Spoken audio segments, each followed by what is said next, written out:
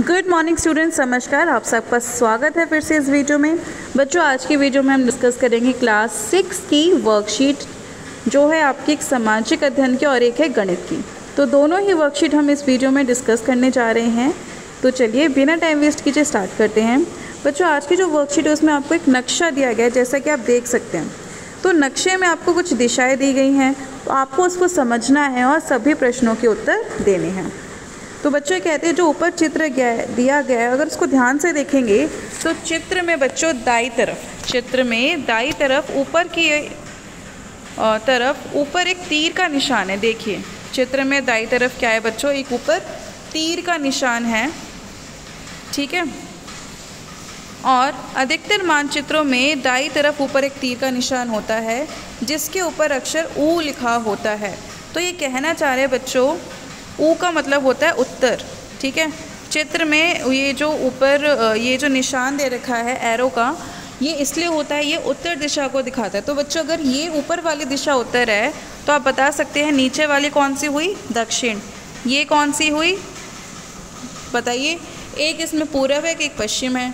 तो बच्चों, ये कौन सी है? ये आपकी है पूर्व और दूसरी है पश्चिम। तो पूर्व पश्चिम इस तरह से दिए गए हुए हैं। तो चलिए आगे देखते हैं।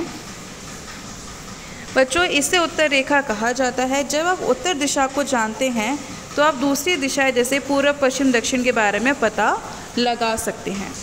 चित्र में चार, दो मुख्य दिशाओं, उत्तर, दक्षिण पूर्व पश्चिम को दिखाया गया है। ये प्रधान द्विबिंदु कहा जाते हैं। बीच की चार दिशाएँ हैं, बीच की चार दिशाएँ हैं। उत्तर पूर्व, दक्षिण पूर्व तथा दक्षिण पश्चिमी इन बीच रेखाओं की मदद से किसी भी स्थान से कहीं से, सही स्थिति का पता लग जाता है। तो बच्चों, ये कहते हैं कि जैसे कि उत्तर दिशा हो गई, नीचे हो गई दक्षिण और हमारी हो गई पूर्व पश्चिम तो यहाँ पे जो दिशा होगी, वो कौन सी होगी? यहाँ पे क्या होगी? उत्तर पश्चिम यहाँ पे दक्षिण। यहाँ पे दक्षिण, यहाँ पे उत्तर।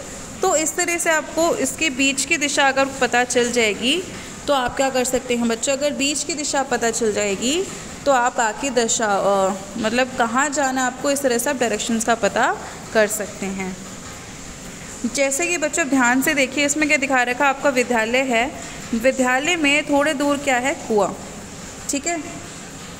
ये आपका सामुदायिक केंद्र है, जो ए, पी, ओ, यहाँ पे कुछ दुकान है और ये खेल का मैदान और एक ये पेड़ है। ठीक है? अब आपको जो क्वेश्चन दिया गया है उसको पढ़ते हैं। और बच्चों, आपको बताया गया था कि चित्र दो में, जैसे कि उत्तर है तो ये कौन से बच्चों? पूर्व ठीक है? तो बीच की जो दिशा हो जाएगी, वो कौन सी हो जाएगी आपकी? उत्तर और पूर्व ठीक है? ये उत्तर है, ये पूर्व है तो ये कौन सी हो जाएगी? उत्तर पूर्व। ये दक्षिण है और ये पूर्व है तो कौन सी होगी? दक्षिण पूर्व। ये पश्चिम है और ये दक्षिण है तो कौन सी होगी? दक्षिण पश्चिम। और ये उत्तर है, और ये कौन सी है बच्चों? ये पश्चिम है तो ये होगी उत्तर पश्चिम। तो ये हमें डायरेक्शंस बता रखी हैं। अब आपसे क्वेश्चन पूछा गया है कि विकास के घर से सामुदायिक केंद्र किस दिशा में है? तो बच्चों देखिए, विकास कहाँ पर है?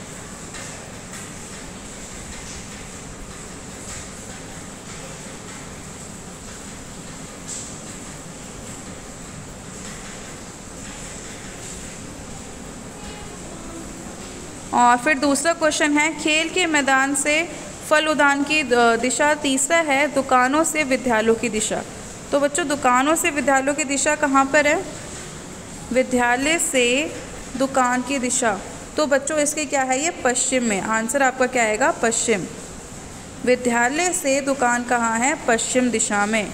विद्यालय से दुकान है बच्चों, पश्चिम दिशा में। तो इसका आंसर हो जाएगा पश्चिम। सेकंड है, खेल के मैदान से फल उदान का दिशा। आपका खेल का मैदान है बच्चों ये, फल उदान है ये, ठीक है? तो ये खेल का मैदान में अगर ये है तो ये क्या होगी? दक्षिण दिशा। तो खेल के मैदान से फल उदान का है बच्चों? दक्षिण, ठीक है? तीसरा है, विकास के घर से सामुदायिक केंद्र। देखिए बच्चों, विकास का घर कहाँ है इसमें? यहाँ पे आपको विकास का घर दिया गया है और ये सामुदायिक केंद्र। तो विशाल के घर से सामुदायिक केंद्र किसमें? नॉर्थ में मतलब उत्तर दिशा में। ठीक है? तो बच्चों, यही थे हमारी आज की worksheet worksheet number twenty generic subject था आपका सोशल साइंस जिसमें हमने सीखा कि कैसे हम डायरेक्शन सीख सकते हैं कौन सी कौन सी डायरेक्शंस होती हैं। फिर हमने कुछ रेफरेंस लिए कि ये ये है तो वो उसके कौन सी दिशा में पड़ेगा, बाई तरफ़, उत्तर दिशा में कौन सी दिशा में। चलिए अब दूसरी वर्कशीट आपकी डिस्कस करते हैं, जो है आपकी मैथ्स की। किसके बच्चों? मैथ्स की। इसमें आपको बोला गया आओ आयु जानने का गेम खेले? Means know the age age निकालने का गेम खेलते हैं। वो आपको क्या कहते हैं बच्चों? यहाँ पे आप देख सकते हैं कि चार कॉलम दिए गए हैं, है ना? यहाँ पे ए बी सी डी चार कॉलम्स आपको दिए गए हैं। तो इन कॉलम्स में आप देख सकते हैं कुछ नंबर दिए गए हैं। अब क्या कहते हैं वो? कि मोहन की उम्र कॉलम ए और कॉलम डी में है, लेकिन बी और सी में नहीं है, इसलिए मोहन नौ साल का है। ठीक है? उसने बोला, ए और डी में है। ए और डी में क्या नौ नंबर है? ए में भी है।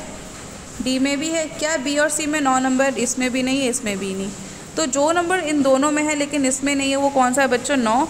तो इसलिए मोहन की वर्ष कितनी हो गया? नौ। बच्चों, आपको कॉलम दे रखे हैं, आयु दे रखी है तो उसके हिसाब से मैच करना है। तो मोहन की उम्र अगर ए कॉलम और डी कॉलम में है बी और सी में नहीं है तो उसकी उम्र कितनी है बच्चों? नौ साल। दूसरा क्वेश्चन है, रूही की उम्र केवल बी में है, इसलिए दो ही वर्ष होगी।